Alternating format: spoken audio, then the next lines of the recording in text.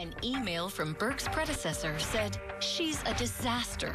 Maybe that's why Wisconsin lost 130,000 jobs when Doyle was governor.